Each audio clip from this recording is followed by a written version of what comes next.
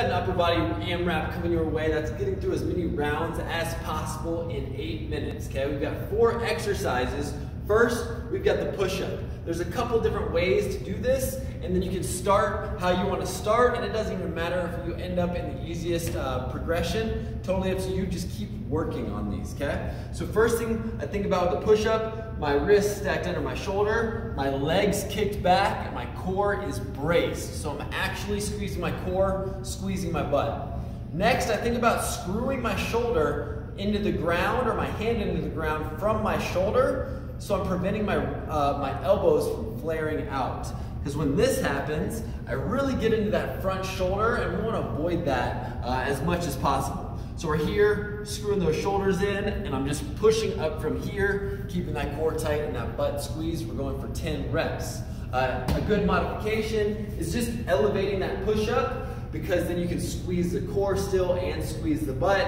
Usually when we go to the, the knees, you can't get as much engagement down low. So we're here, squeezing the core, squeezing the butt, going for push-ups from here.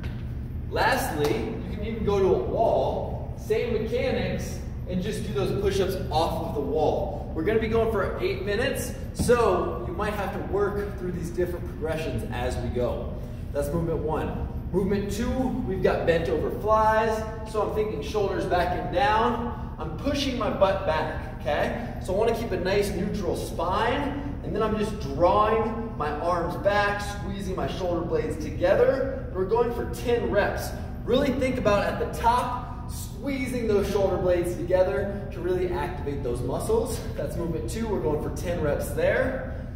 Next, we've got inchworms. So I'm standing tall, then I'm bending over, walking my hands out into a plank position, and then walking back.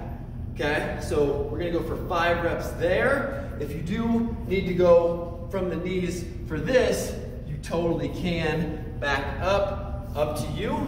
Next, we've got shoulder taps.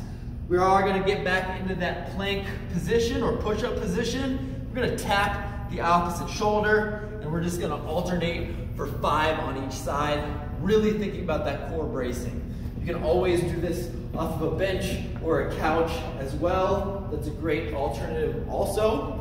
Five on each side there. So again, setting your timer for eight minutes.